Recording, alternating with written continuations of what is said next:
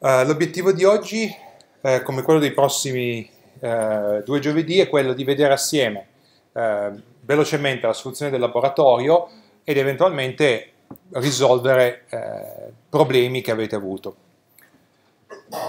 Non vediamo nulla di nuovo, quindi si tratta di consolidare quello che abbiamo visto finora.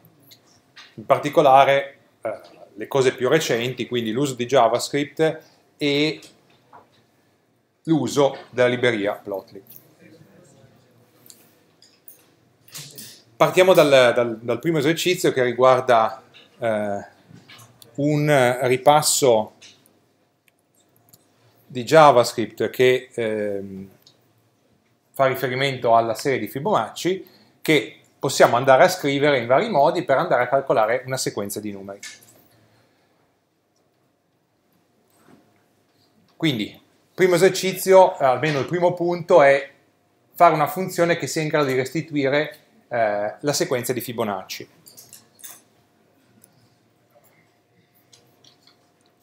Noi abbiamo la nostra funzione eh, Fibonacci che vi era già data come eh, struttura ehm, e l'obiettivo è quello di andare a scrivere eh, la serie.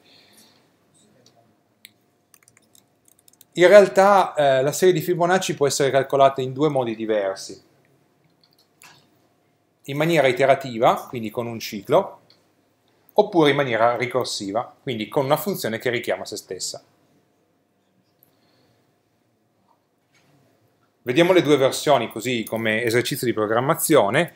Eh, posso dichiarare una funzione Fibonacci iterativa che accetta un parametro n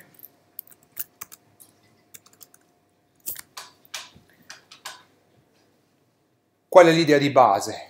Allora, ehm, sostanzialmente, se n è minore di 0, non restituiamo nulla. Quindi possiamo restituire un array vuoto eh, possiamo restituire eh, un messaggio d'errore, possiamo lanciare un'eccezione, indice non valido per la serie di Fibonacci, due punti più n.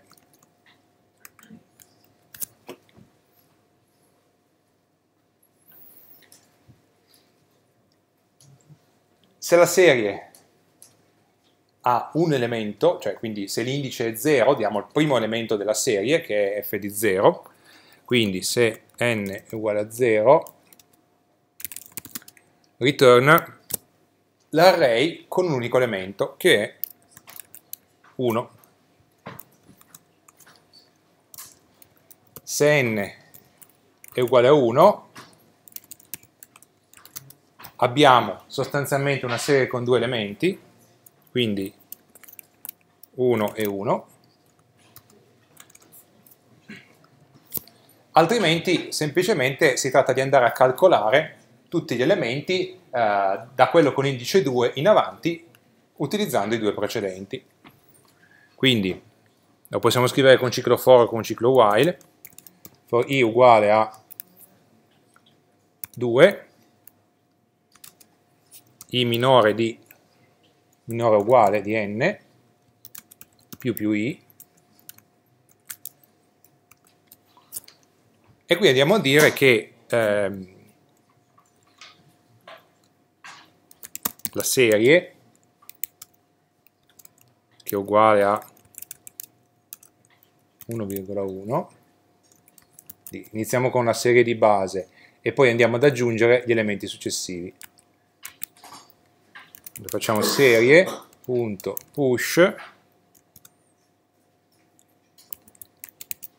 serie di i-1 più serie di i-2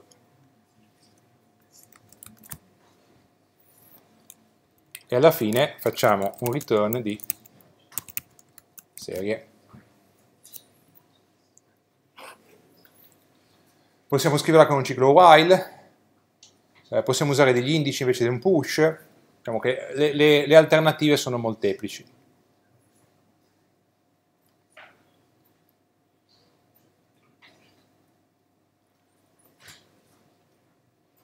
Dubbi su questo?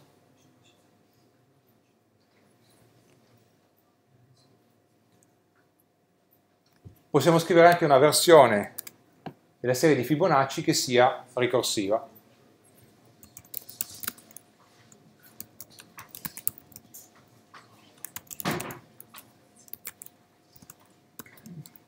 Solito parametro n che mi dice l'indice dell'ultimo elemento. Qui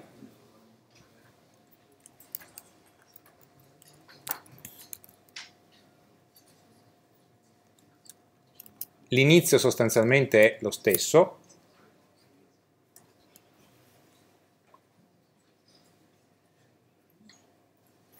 i primi due valori sono fissi, quindi non dobbiamo andare a calcolarli. A questo punto però, eh, se utilizziamo la funzione ricorsiva, vuol dire che la funzione richiama se stessa per andare a calcolare eh, sostanzialmente i nuovi valori. Come fa?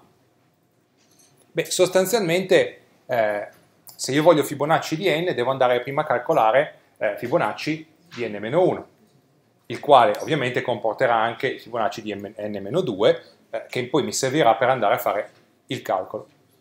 Quindi, quello che posso fare è fare, scusate, non la maiuscola, var serie uguale a Fibonacci ricorsiva di n-1.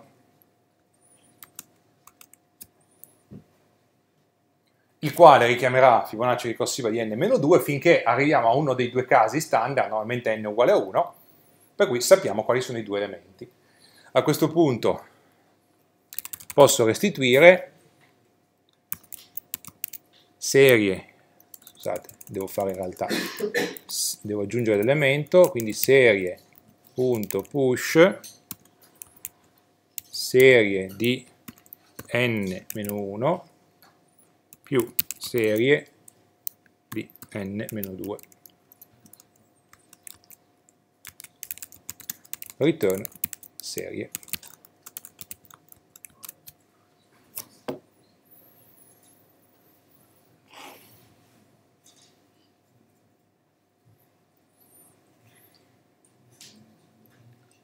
Esiste un teorema fondamentale del calcolo che dice che ogni soluzione ricorsiva può essere espressa in maniera equivalente come una soluzione, eh, ogni soluzione iterativa può essere espressa in maniera eh, equivalente come una soluzione ricorsiva.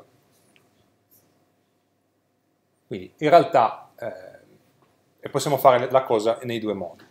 Um, in generale le soluzioni ricorsive spesso sono più eh, facili da scrivere, ma sono meno efficienti. Quindi in generale la preferenza dovrebbe andare verso una soluzione iterativa.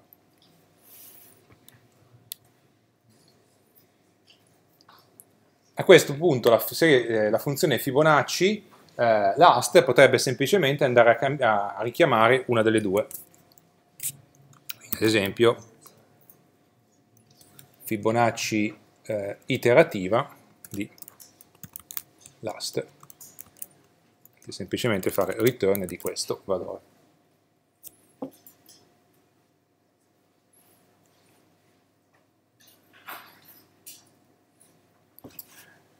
Questa funzione che semplicemente restituisce il valore di un'altra funzione, in realtà è una chiamata in più, non necessaria. Noi potremmo andare a scrivere in maniera del tutto equivalente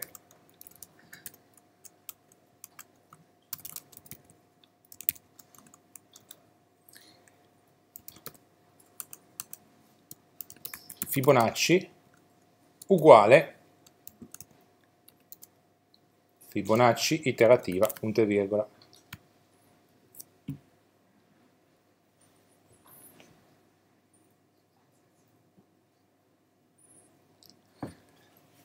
Questa seconda scrittura semplicemente cosa fa? Ci dice che in realtà il nome Fibonacci è una variabile che punta alla funzione Fibonacci iterativa.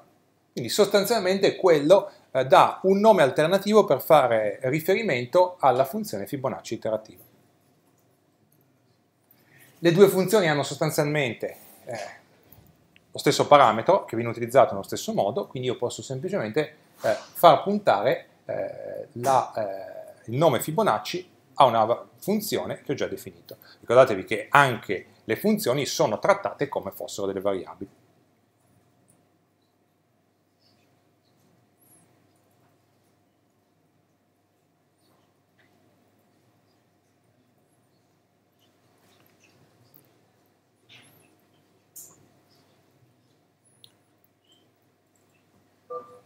Ok?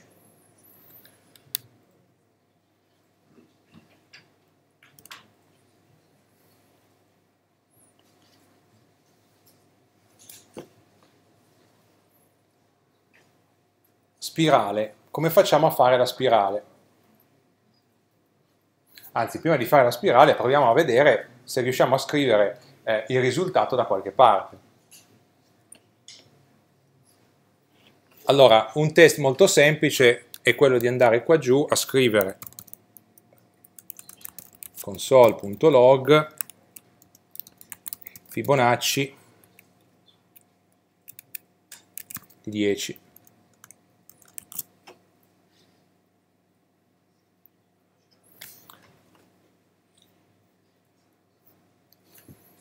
Allora, questa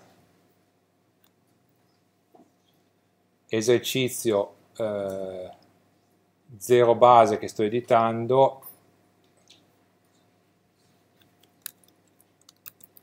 lo includo in una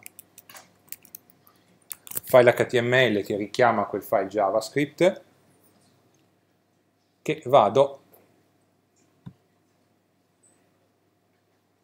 a visualizzare.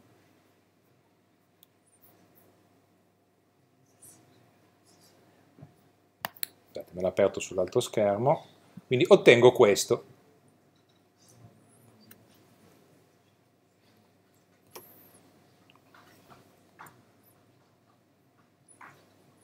Ovviamente non vedo niente, perché console.log stampa sulla console. Quindi quello che devo fare è andare ad aprire sviluppo, console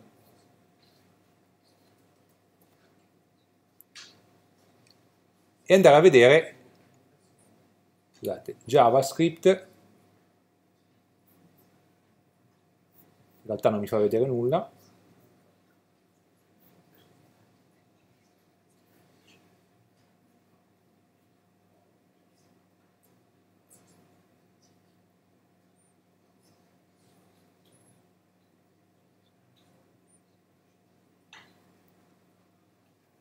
Sì, console web l'abbiamo già vista.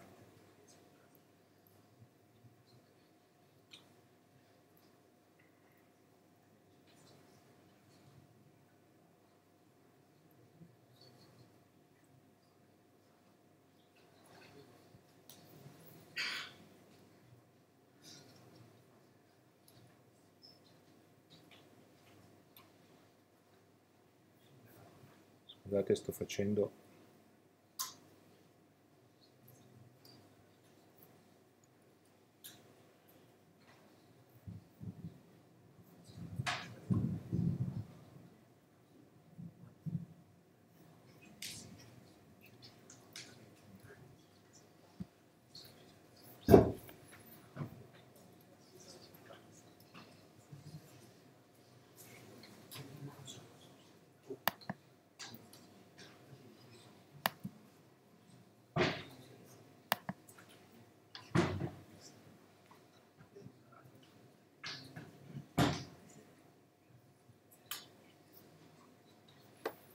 Allora, non mi fa vedere i messaggi, allora, quello che posso fare qua.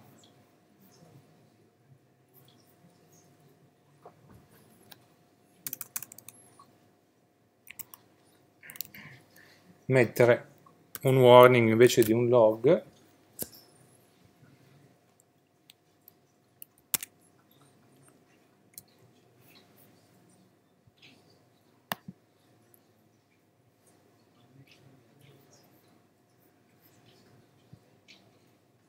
eccolo qua, ricaricare la pagina,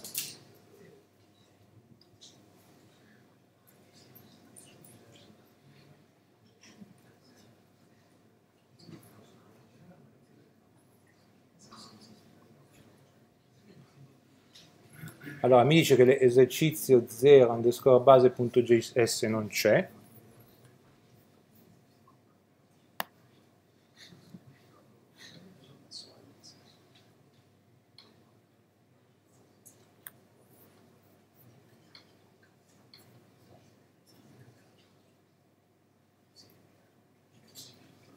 Sì. Ha messo la X al posto della S in esercizio nel nome del file. Eh, avete ragione. X.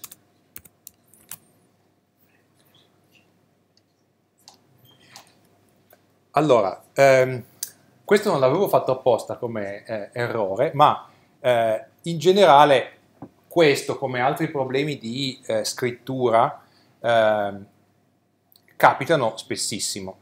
Ve ne siete accorti anche in laboratorio.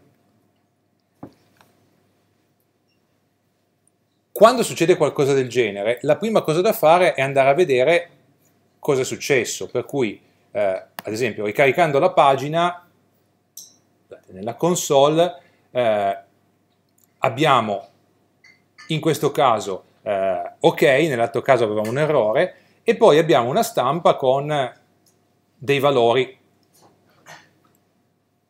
In questo caso eh, abbiamo not a number. vuol dire che eh, il codice che ho scritto da qualche parte ha commesso qualche errore, anzi io ho commesso qualche errore nel codice. Eh, quando eh, vediamo eh, not number vuol dire che il risultato di una qualche operazione eh, aritmetica non ha avuto un successo atteso, cioè non ha dato un numero, e none vuol dire not a number, quindi eh, il risultato non è rappresentabile come un numero, eh, vuol dire che i valori che noi abbiamo cercato di combinare con una qualche operazione non erano dei numeri, o erano undefined o non erano dei numeri. Quindi nel caso specifico, tornando al nostro codice,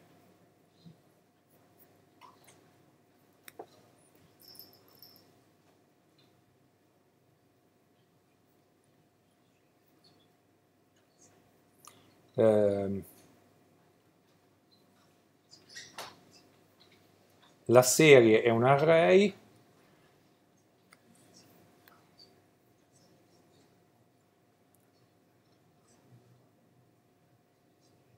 presso il secondo indice. È, già, è 1 meno 2 scusate avete ragione. Era un indice meno 1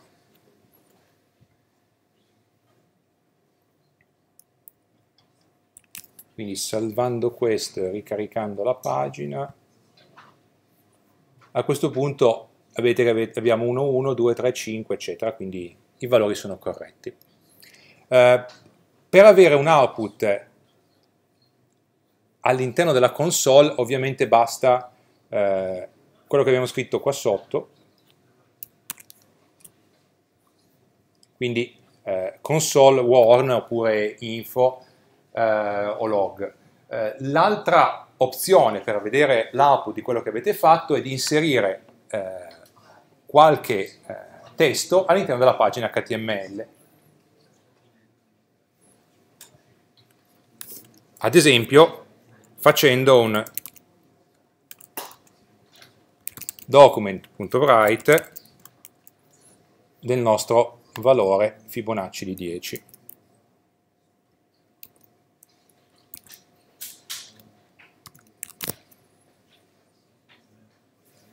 Questo ci porta a mettere questa sequenza di numeri eh, direttamente nella pagina. Okay? Quindi lo vediamo senza dover aprire la nostra console. È più semplice. Ricordatevi che per qualunque malfunzionamento la console è una vostra amica, quindi utilizzatela.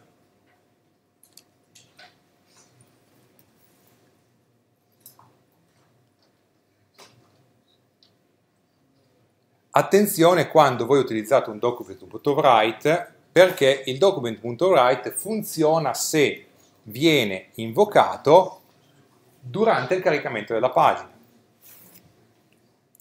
Se andiamo a riprendere il codice HTML, questo,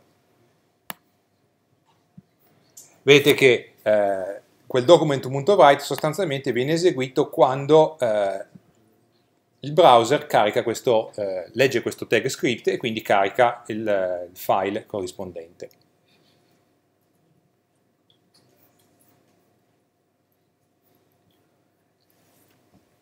Cosa succede se voi mettete il document.write dentro il window onload?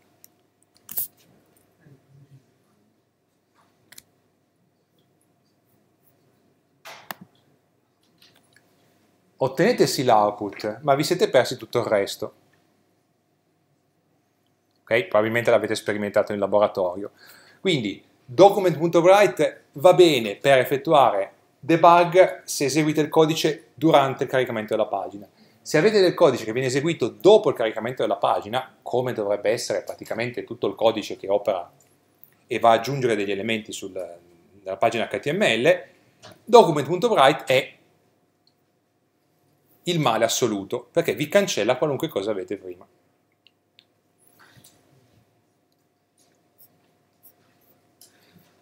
Per cui document.write va bene ogni tanto per il debugging, ma è da utilizzare con molta cautela. Quello che di solito facciamo è di andare a prendere un elemento della pagina HTML, quindi ad esempio il nostro div che abbiamo chiamato Fibonacci, ma possiamo anche mettere qualunque altra cosa, potremmo mettere ad esempio qua eh, un P con eh, output, due punti e poi un code il cui id lo chiamiamo output.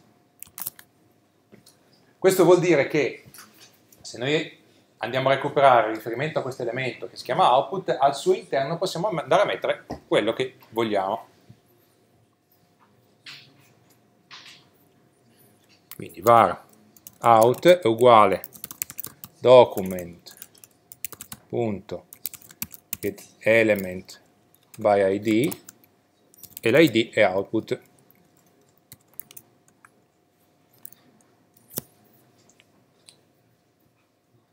Se vogliamo inserire del testo dentro un elemento di cui abbiamo riferimento, lo possiamo fare in due modi.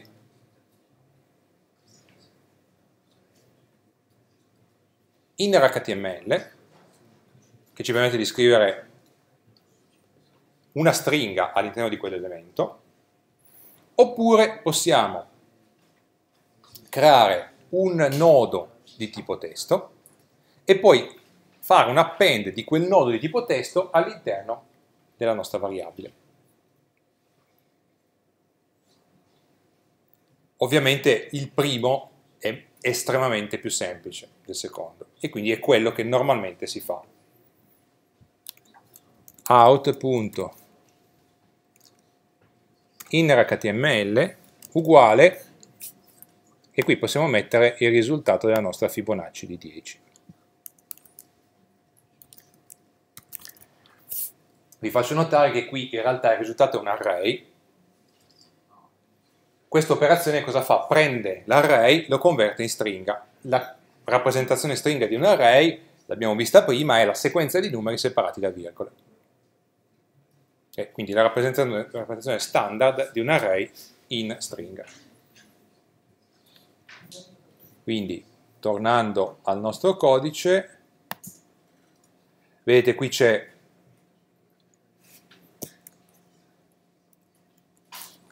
output e abbiamo poi la sequenza dei valori eh, corrispondenti alla sequenza di Fibonacci eh, dentro un tag di tipo code che quindi li formata con un tipo di carattere eh, a spaziatura fissa.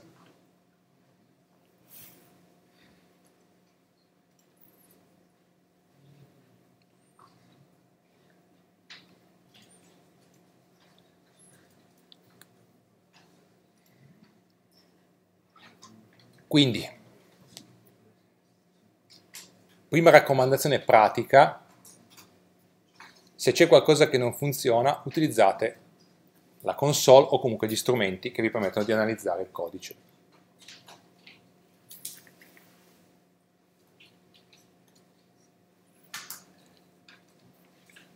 Legato all'inner HTML vi ricordo che quello che voi andate a scrivere viene interpretato come codice HTML. Per cui se il vostro codice contiene dei minori o dei maggiori, quelli vengono interpretati come inizio e fine di un tag.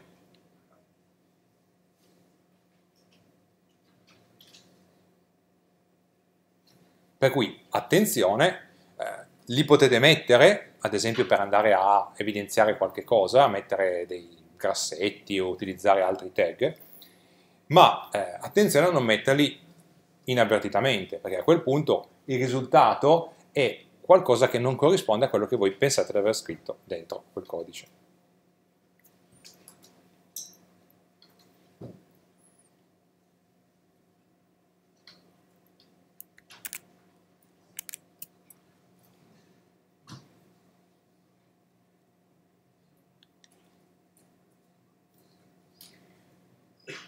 Costruzione della spirale. Non vi sto a scrivere il codice, vado a recuperare quello che eh, è già scritto nella soluzione. Eh, una possibilità è questa, quella di avere una serie di eh, valori che vi permettono di andare a moltiplicare eh, i numeri della serie di Fibonacci per ottenere le, eh, corrispettive, le rispettive coordinate x e y.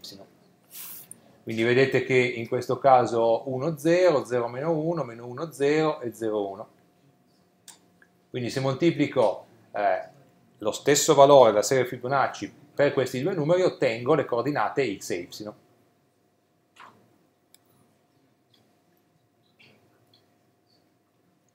Cosa voglio fare io? Voglio ottenere sostanzialmente un oggetto che contenga due proprietà x e y.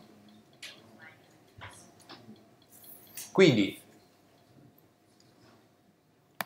quello che posso fare è fare un return di aperta graffa x due punti x e y due punti y. Questa è la versione compatta. In realtà io un oggetto lo posso anche costruire un passo per volta. Quindi invece di scrivere questo, potrei scrivere var risultato uguale new object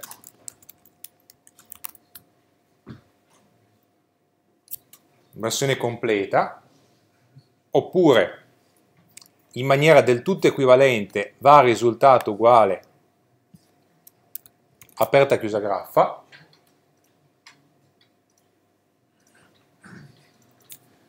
E poi andare a dire risultato.x risultato.x uguale a x. Risultato.y uguale y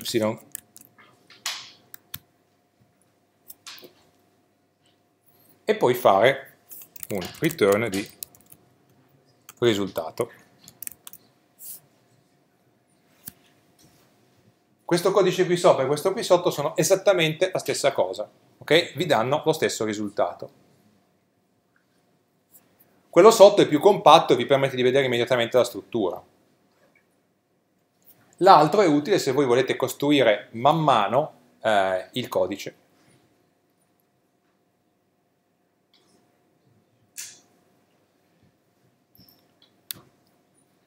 Io qui ho utilizzato X e Y, avrei potuto utilizzare Kevin e Stuart o qualunque altro nome mi venga in mente.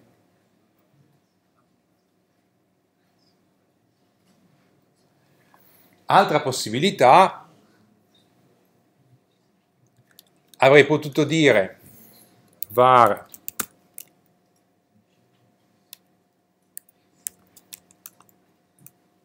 S uguale a aperta tonda x due punti quadre virgola y due punti quadre. E qua invece di fare x.push avrei potuto fare s.x.push e s.y.push e qui semplicemente fare un return di s.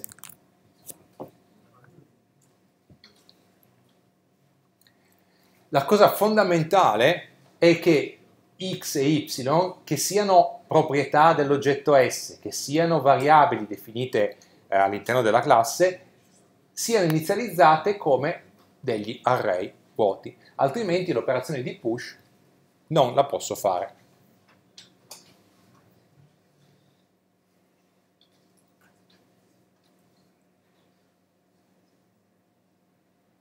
E quindi quella aperta o chiusa quadra semplicemente sta a indicarmi eh, che voglio un array di dimensione nulla, senza elementi. Dopodiché posso fare operazioni di push aggiungendo nuovi elementi. Le alternative, come vedete, sono varie, poi una è più comoda o meno dell'altra, non particolarmente. Eh, vi faccio notare in quest'ultima scrittura che eh, scrivere x due punti x può sembrare strano.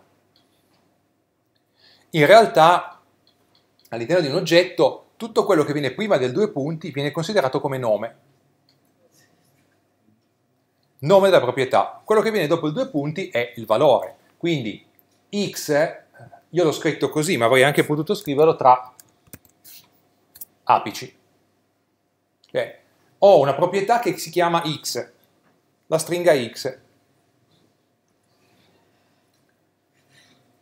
il valore di quella proprietà è quanto è contenuto nella variabile x che è stata calcolata, come abbiamo visto prima.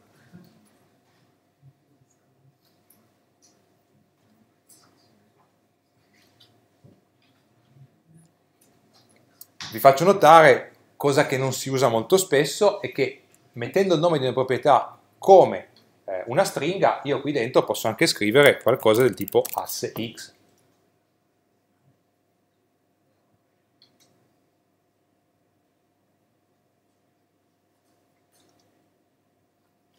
di solito non si fa, si usano dei nomi semplici, ma questo è assolutamente eh, valido.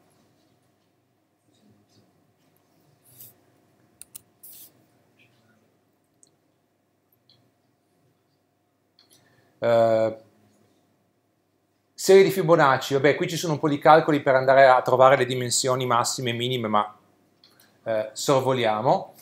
Uh, Cosa faccio qui? Allora, qui chiamo la funzione spirale che abbiamo visto prima, che mi restituisce sostanzialmente un oggetto che ha due proprietà x e y. Se vi ricordate come posso andare a definire una serie di dati all'interno di eh, Plotly, una serie sostanzialmente ha due proprietà che si chiamano x e y, quindi quel valore lì è già pronto. Io faccio sf.line uguale queste informazioni, questi, questi dettagli e eh, semplicemente do delle informazioni in più a quella eh, serie che è già stata definita. Qui sotto vado a definire la dimensione, vado a definire il range dell'asse x e dell'asse y, eh, vado a definire un margine, eh, vado a definire un overmode eh, e poi faccio plotly, new plot, qui metto l'id dell'elemento in cui voglio mettere il grafico, le tracce e il layout. Sì. Eh, sono, è, è, un modo complicato per andare a capire eh, quali sono gli indici che ti danno il valore minimo eh, e massimo di x e di y.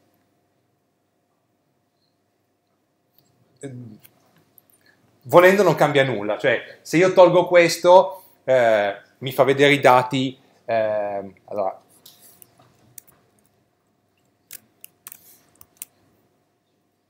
se io tolgo questo e questo eh, e vado poi a vedere il mio index,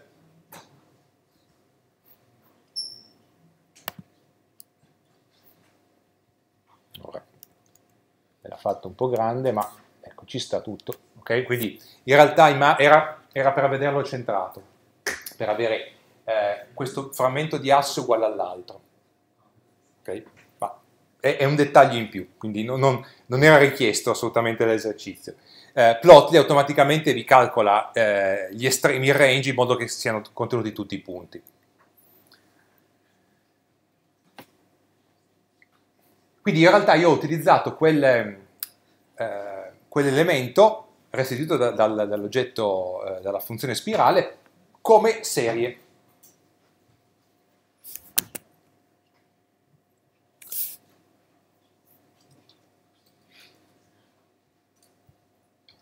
Eh, vi faccio notare una cosa. Il primo parametro normalmente è una stringa, ma potrebbe essere un uh, elemento che ho ottenuto con getElementById. Non lo faccio perché sostanzialmente se passo una stringa getElementById lo fa automaticamente il new plot, quindi mi risparmio del codice. Il secondo parametro deve per forza essere un array. Vedete cosa ho scritto qua su? Traces, quindi le tracce che io voglio andare a disegnare, è uguale a un array che contiene soltanto eh, il valore restituito dalla spirale.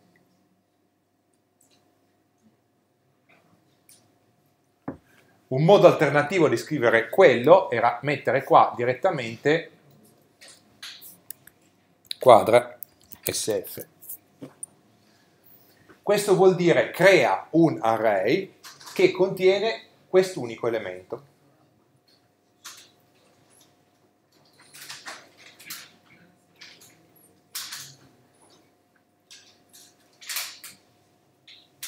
Dimenticare di mettere queste quadre passando qua un oggetto è direi il primo errore che si commette. Okay? Quindi ricordatevi che questo deve essere un array. Se non passate un array,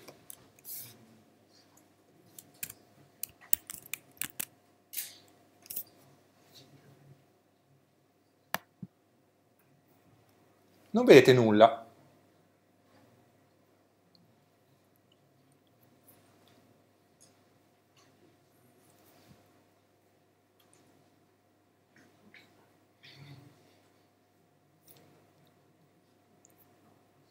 La domanda. Professore, ho scritto il codice, sembra corretto ma non si vede nulla. Io l'accetto molto volentieri durante i laboratori. Durante l'esame la ignoro.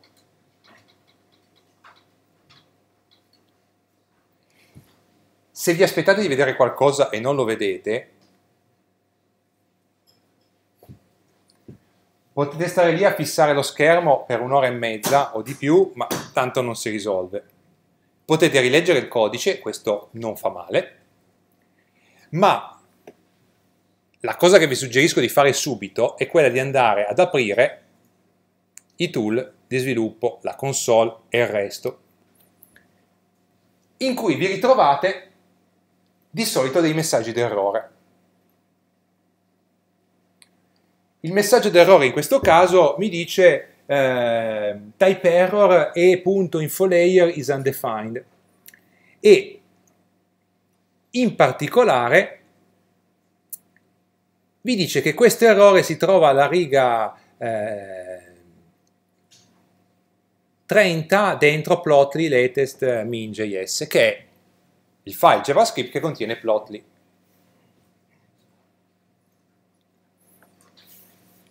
Se voi avete un errore dentro una funzione che chiamate, i casi sono due. La funzione è baccata, avete passato dei parametri che quella funzione non è in grado di accettare. Io non escludo che Plotly abbia da qualche parte dei bachi, però la prima alternativa è molto più probabile. Normalmente errore di questo tipo vuol dire che avete passato i parametri sbagliati. I parametri sbagliati, come vi dicevo prima, è il fatto che non avete passato le tracce come un array, ma come un oggetto puro e semplice.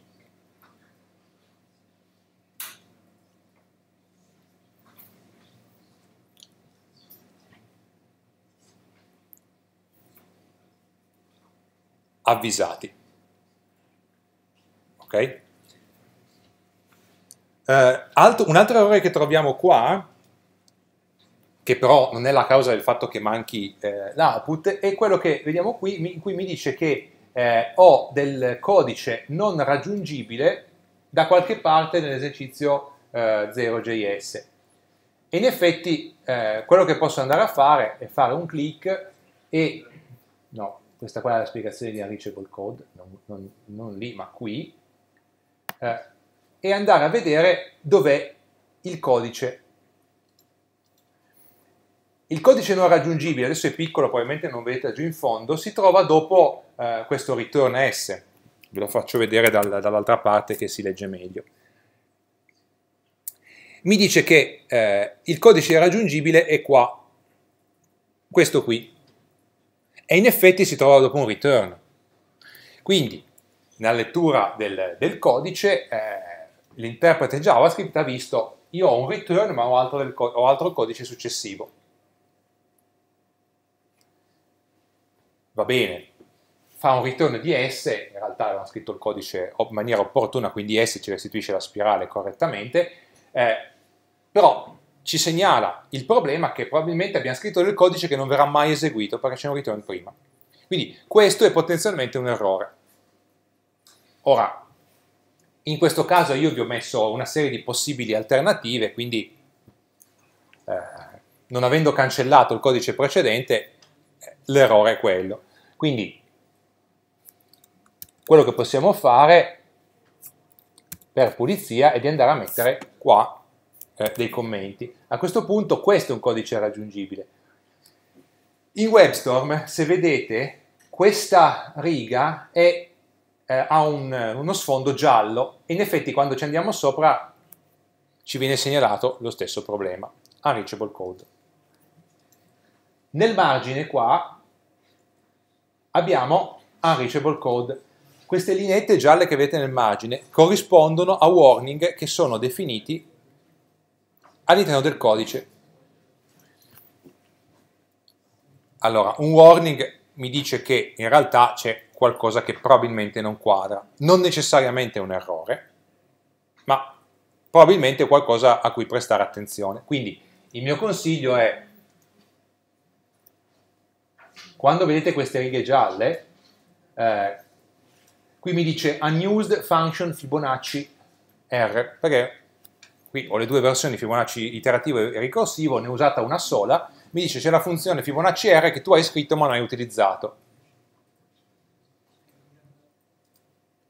Hai sbagliato qualcosa perché in realtà volevi utilizzarla, oppure volendo la puoi cancellare. Qui eh, mi dice che eh, unreachable code, quindi ho scritto del codice e quel codice non verrà mai eseguito. O l'ho messo lì e effettivamente l'ho dimenticato, oppure ho commesso qualche errore prima e quel codice in realtà dovrebbe essere eseguito.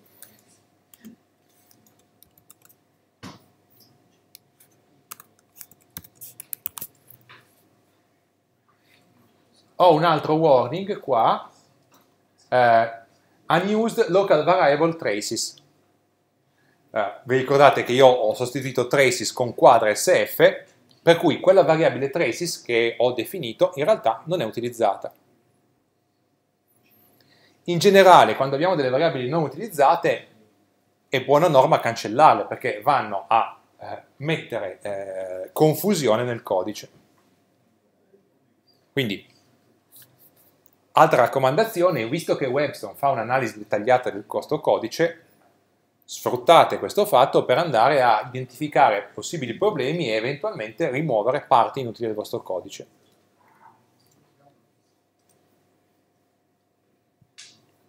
Quindi invece di eh, mettere sf qua, metto traces, salvo e a questo punto il warning è scomparso. Uh, a volte è possibile che vi diano degli errori del tipo unresolved function of method new plot. Quello che potete fare è andare a scaricare eh, la libreria di Plotly e aggiungerla tra quelle in riferimento. Okay? Però non è necessario.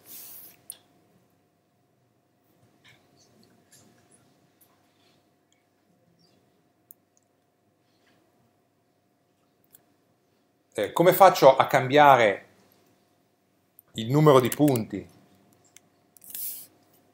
Che a questo punto dovrei riuscire a vedere.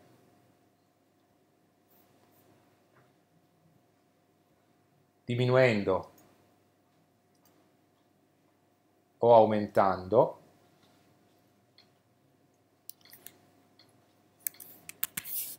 Beh, il codice è abbastanza semplice, ho ehm, l'elemento punti che ho ottenuto con document.getElementById by eh,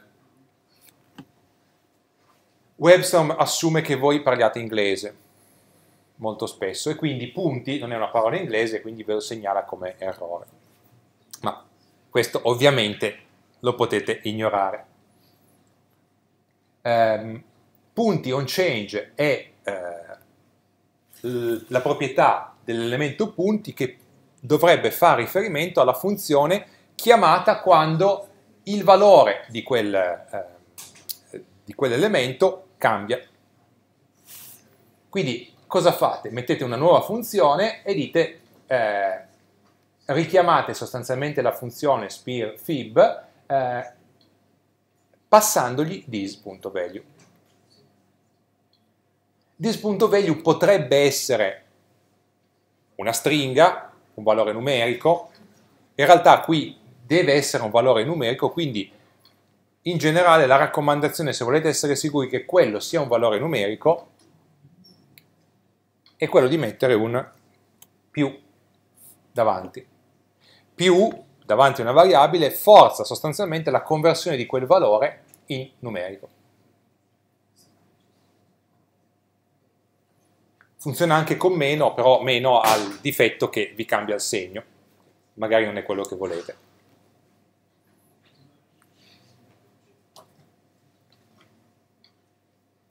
A questo punto eh, cosa faccio? Richiamo la funzione spear fib che richiama il codice e riesegue il plot.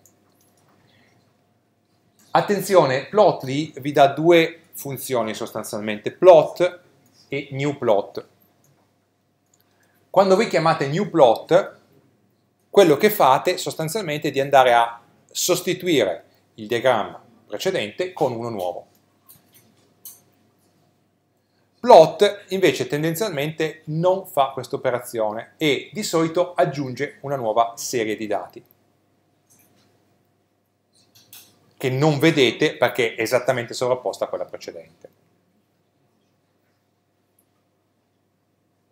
Quindi se voi volete cambiare i parametri e disegnare un nuovo diagramma, newPlot è la funzione che dovete utilizzare. Sì. Ma se al posto di fare punti.onChange facciamo window.onChange, cambia qualcosa? No, window.onChange non è detto che eh, intercetti l'evento. Di solito gli eventi vengono propagati verso l'alto, ma se avete tanti elementi che possono cambiare, qualunque elemento cambia viene richiamato quel... Eh, in questo caso che solo uno era... In questo caso probabilmente poteva funzionare. Non sono sicuro che... L'hai provato? Funziona? Sì. Normalmente eh, gli, gli, eventi vengono, non change ma il click ad esempio, vengono propagati al, eh, allora, iniziano sull'elemento su cui effettivamente avvengono, poi vengono propagati negli elementi che li contengono.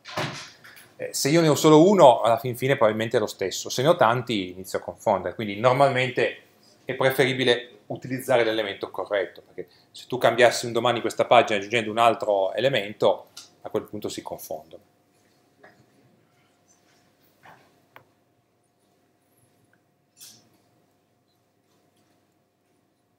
Eh, altro dettaglio, io chiamo la funzione eh, spearfib anche dopo aver impostato questo onChange.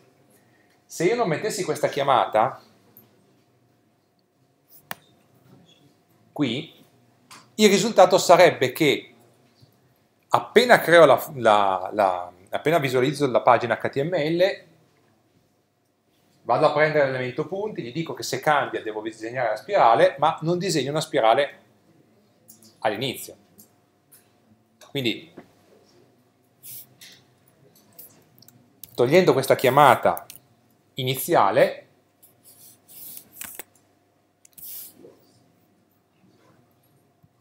il risultato è che la mia pagina è vuota, perché in partenza non ho nessun cambiamento.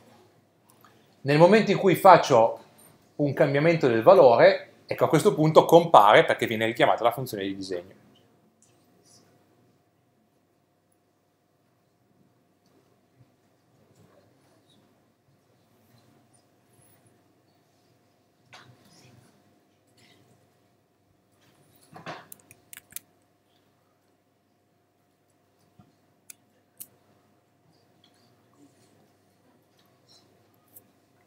Ok? Questa però più o meno mi sembra di aver visto in laboratorio che bene o male eh, foste riusciti a risolverla tutti. Vediamo gli altri due esercizi.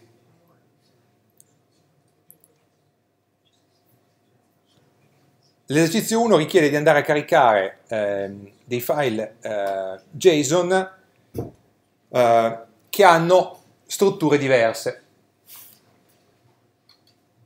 Il primo file JSON ha una struttura di questo tipo. Sostanzialmente è un oggetto che contiene due proprietà, eh, fields, che è un array con i nomi dei campi, e data, che è un array di array, dove gli array interni corrispondono alle righe nostro, eh, dei nostri dati. Il nome del, eh, del titolo e il, la percentuale. Il secondo JSON contiene sostanzialmente gli stessi dati ma è strutturato in maniera diversa. Eh, quadre e poi eh, quindi un array di oggetti. Ogni oggetto corrisponde a una riga, però quella riga non è più rappresentata come un array con i singoli valori, ma è rappresentata come un oggetto in cui abbiamo una proprietà per ogni elemento della riga. L'ultimo richiede di andare a caricare un CSV.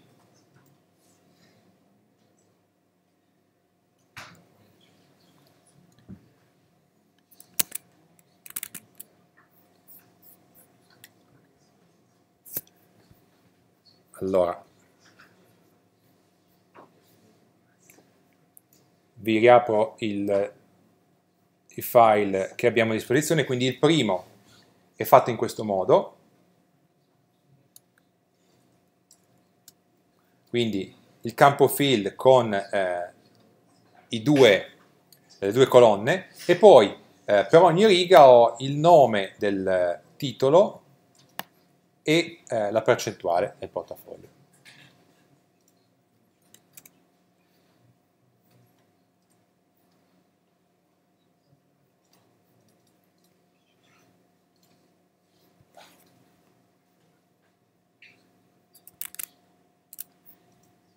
Scusate ma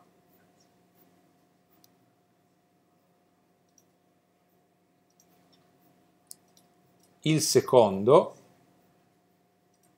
questo e contiene sostanzialmente gli stessi eh, valori solo che ha eh, come vedete un oggetto per ogni riga ed è un array di oggetti. Tutti gli oggetti sostanzialmente hanno la stessa struttura, ovvero hanno una prima proprietà che è il titolo e una seconda proprietà che è la percentuale.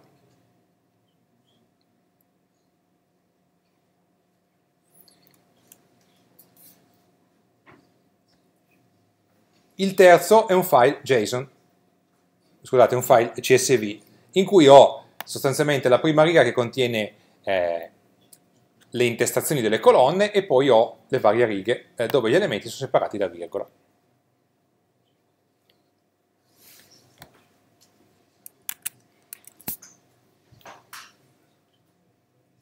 Come posso risolvere questo? Um, ho una serie di eh, operazioni che posso eseguire on load.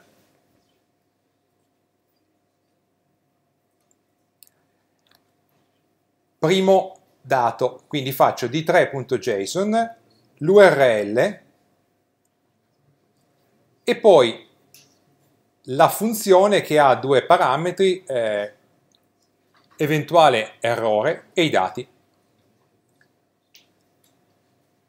Cosa succede? Che quella eh, chiamata di 3.json eh, equivale sostanzialmente a una chiamata Ajax, eh, in cui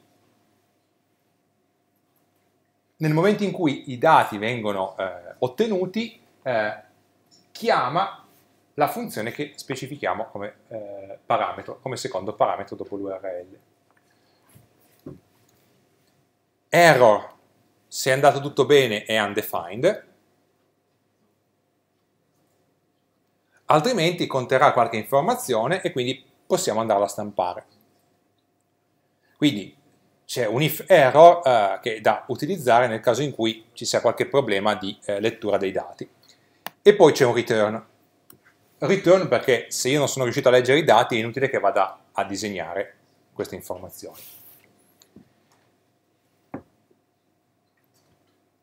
Eh, cosa faccio qui? Eh, utilizzo due array, titolo e percentuale, e poi, sapendo che ogni riga contiene come primo elemento eh, il nome del titolo e come secondo elemento la percentuale, cosa faccio? Faccio eh, row eh, data.data di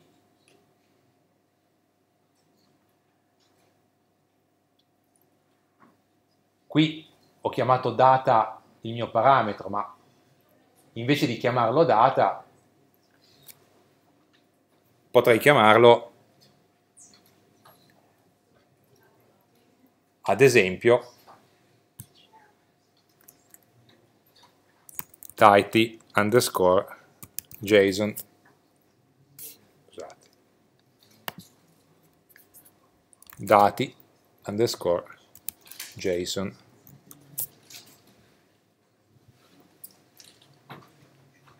se volete cambiare nome a una variabile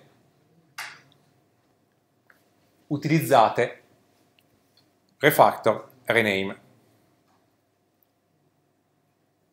perché altrimenti per la legge di Murphy avete la certezza che vi dimenticate un punto in cui cambiarlo e di solito quel punto è nascosto ed è il più importante di tutti.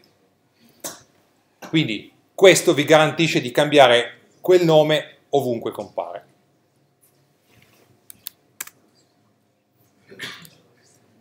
Vedete che qui abbiamo dati JSON, abbiamo dati JSON qua, eh, quindi riga è uguale dati JSON.data, abbiamo visto che è un oggetto con due proprietà, il secondo data che è un array, eh, i quindi vado a prendere ogni riga e il primo lo metto eh, nell'array titolo e il secondo lo metto dentro l'array percentuale. Vi faccio notare il più che ho messo qua. Questo perché normalmente i dati eh, JSON vengono trattati come stringhe. Poi chiamo eh, la funzione disegna con titolo, percentuale e poi l'id in cui andare a mettere questo eh, grafico. Disegna è questa funzione che c'è qua sopra che prende, scusate, i due array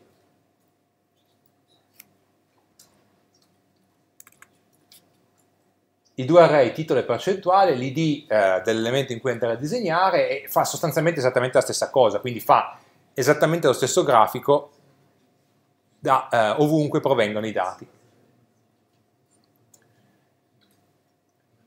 Vedete qua che i dati, o se preferite chiamarli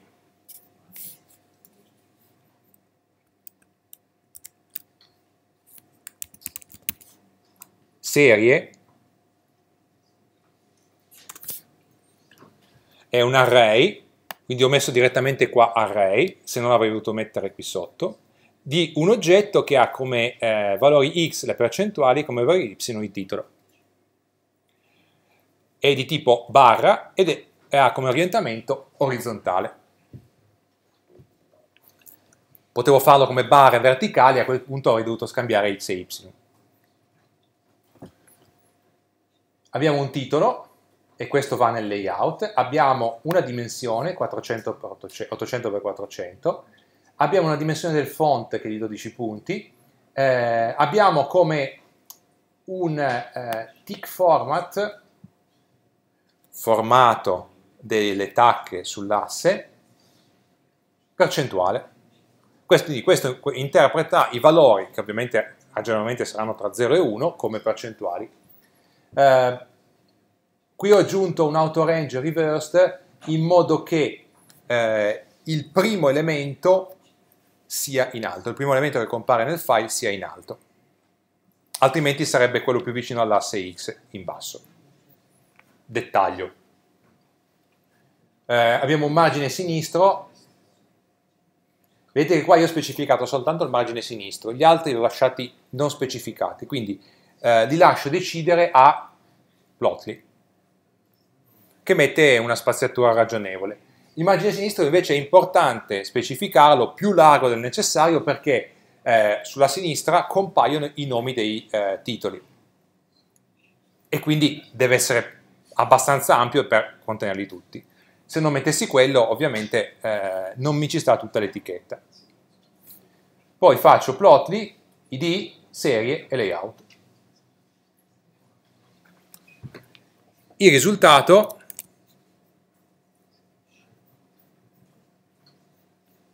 è sostanzialmente questo. Vedete il margine di 280 mi permette di mettere tutto questo spazio, altrimenti sarebbe un margine pari a questo, quindi mi taglierebbe la scritta. Eh, ho i vari titoli, le percentuali, vedete che sull'asse ho come valore percentuali, e basta, ok?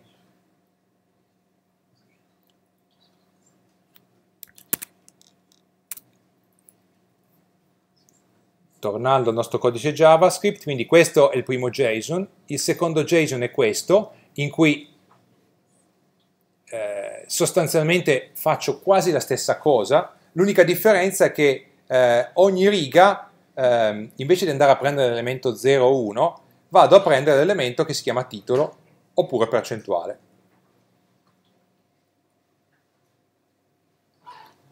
Perché nel JSON automaticamente gli elementi dell'array eh, sono degli oggetti con i nomi. Eh, di nuovo qui uso il più, se tolgo il più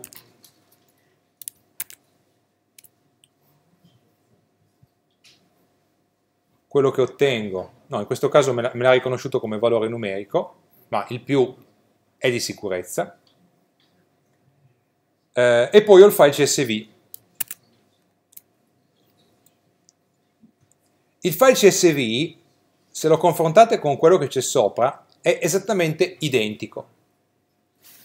Questo perché il metodo plotly di 3CSV prende un file CSV e genera una struttura dati che è esattamente uguale a quella del secondo JSON.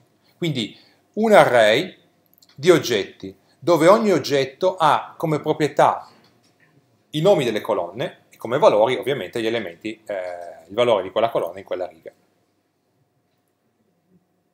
Quindi questo blocco di codice qua e quello sopra per il secondo JSON sono esattamente uguali, tranne la chiamata eh, che qui eh, viene fatta a d3.csv e qui viene fatta a d3.json.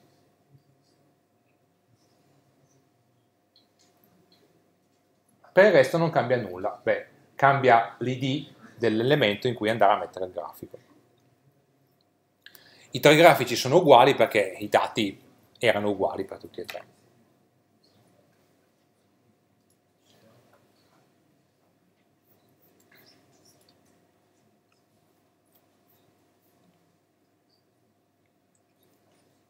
Eh, terzo esercizio, quello di andare a prendere i dati dalla vendita delle varie marche.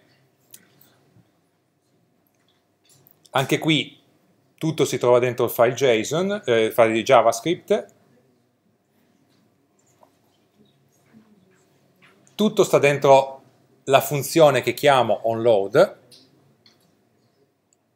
Quindi sostanzialmente questa parte qua è standard, ce l'avete sempre potete fare window.onload, potete fare eh, $document.read, potete fare aperta tonda function, se volete usare jQuery, ma normalmente qualunque attività di eh, caricamento dati viene fatta a valle della lettura della pagina. La struttura è sempre la stessa, leggo un CSV, specifico l'URL, specifico la, la, funzione da chiamare, quindi questo eh, function error e data. If error di nuovo mi serve per andare a discriminare il fatto in cui ci sia stato un errore o meno. E poi qua eh, sostanzialmente quello che faccio è andare a definire eh, quattro array, uno che contiene l'anno e gli altri tre che contengono i valori di vendite delle tre marche. Ovviamente io qua parto dall'assunzione di sapere già come è fatto il file CSV, okay? perché altrimenti non avrei potuto inventarmi gli array eh, Fiat, Ford e Volkswagen. Non so quali sono i dati, ma so che la struttura è quella. Per cui, eh, qui cosa faccio? Eh, vado a fare un ciclo su tutte le eh, righe del mio file, eh, e faccio un push per i valori eh, dell'anno della eh, vendite Fiat, Ford e Volkswagen.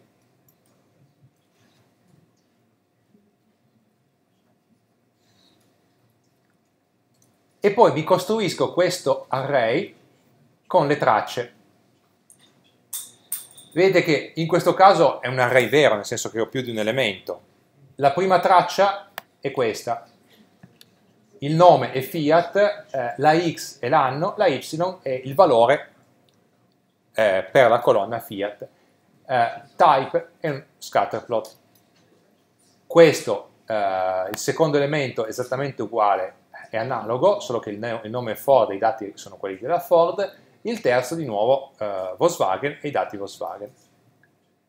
Il layout, di nuovo, è molto semplice, ho un titolo, ho una dimensione, ho un font, il font non è necessario, però a occhio potete vedere se i font che, che utilizza automaticamente Plotly sono troppo piccoli o troppo grandi, potete ingrandirli, restringerli a seconda delle vostre esigenze, ehm, e ehm, utilizzare un asse ehm, X.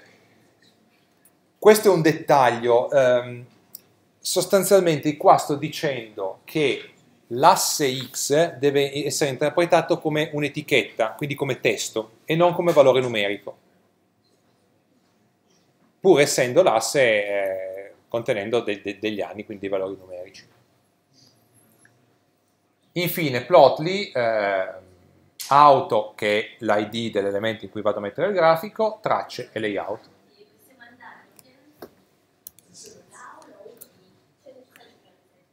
Quindi andando a aprire il file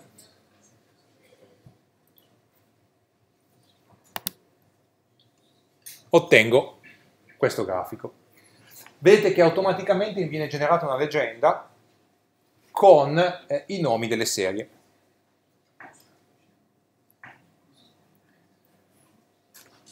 Quello che posso fare, volendo, è andare a spostare questa leggenda in alto, in basso, in altre posizioni, altrimenti viene messa automaticamente eh, lì in alto a destra. Come la genera utilizzando i nomi delle tre tracce che io ho indicato.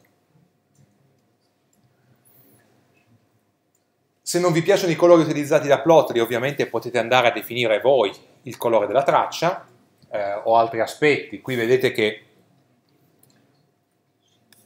eh, in realtà eh, quello che avviene è che ci sono delle linee rette. Se volete potete utilizzare delle spline, potete utilizzare delle, delle, delle LH, HL, eh, quello che volete. Okay? Però la versione base comunque già contiene i vostri dati.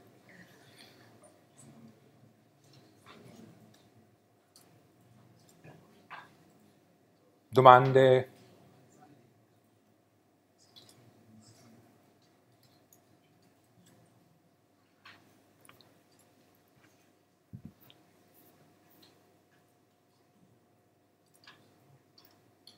A quale di questi somiglia l'esame? Direi a quest'ultimo. Quello che vi viene dato è un progetto, esattamente come questi che avete visto nel laboratorio. Il progetto contiene già una pagina, dentro la pagina normalmente riportati, viene riportato un grafico che di solito ha qualche limitazione. Quindi c'è un'immagine JPEG, eh, GIF, PNG, quello che volete, eh, anzi quello che scelgo io. Comunque, vedete l'immagine, quindi se aprite la, la, la pagina HTML che trovate nel progetto, vi trovate un grafico predefinito. Quello che dovete fare è capire dove sono le limitazioni e avete la solita guida già pronta nel testo e poi andare a pensare a come ridisegnare quel grafico. Se i dati del grafico sono pochi, dovete anche generarvi voi un file dati, un CSV o un JSON, come preferite. Se i dati sono tanti, e quindi la cosa vi richiederebbe più di 10 minuti, normalmente vi do io il file con i dati già pronti. Quello che dovete fare è, oltre a evidenziare quali sono le limitazioni del grafico, andare a scrivere il codice JavaScript che vi permetta di generare una versione eh, riprogettata del grafico che aveva delle limitazioni, usando Plotly. Quindi sostanzialmente andare a scrivere l'equivalente di questo codice.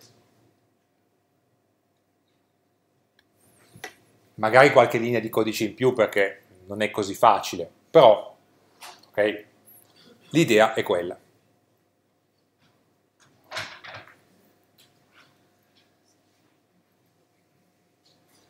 Tutto questo, quindi, l'analisi dell'immagine di partenza, il codice per generare il grafico, dovete metterlo dentro la pagina HTML che io vi do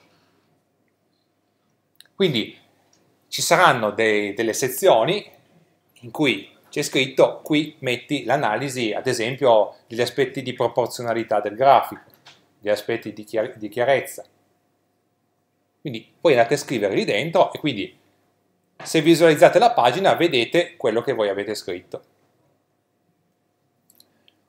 Quando avete finito prendete e fate il commit del vostro lavoro.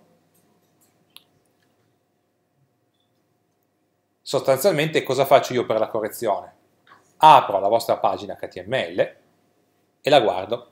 Quindi dentro ci saranno l'analisi che avete fatto del, eh, del grafico di partenza, il grafico che voi avete ridisegnato e poi in fondo ci saranno un paio di domande di risposte a domande a scelta multipla. Quindi l'HTML deve visualizzare correttamente il grafico, altrimenti il voto non sarà probabilmente sufficiente, e deve riportare del testo che voi avete scritto, come analisi del eh, diagramma del grafico di partenza.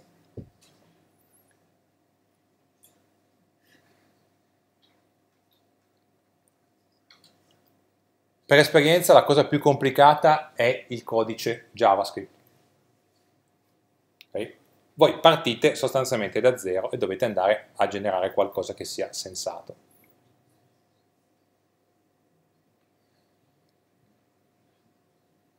Se non riuscite a visualizzare un grafico, per sgangherato che sia, ovviamente non superate l'esame. Se voi fate, visualizzate un grafico, a questo punto io andrò a valutare quanto questo grafico segua i principi di cui abbiamo parlato nella prima parte di questo corso e quanto la vostra analisi del grafico di partenza di nuovo applichi i, i vari principi di cui abbiamo parlato. Ragionevolmente i problemi che voi avete identificato nella vostra analisi dovrebbero essere risolti nel grafico che costruite voi.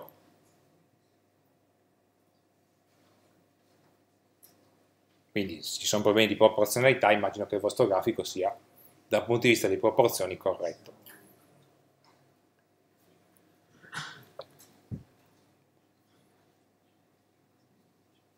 I prossimi due laboratori saranno sostanzialmente dei temi d'esame,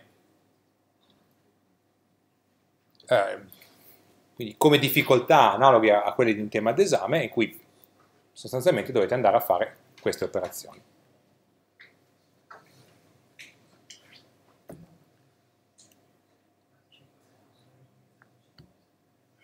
Se non avete domande o altre curiosità su, su quanto abbiamo visto oggi, direi che per oggi chiudiamo qua. Ci vediamo lunedì in laboratorio. No, sì, ci vediamo lunedì in laboratorio.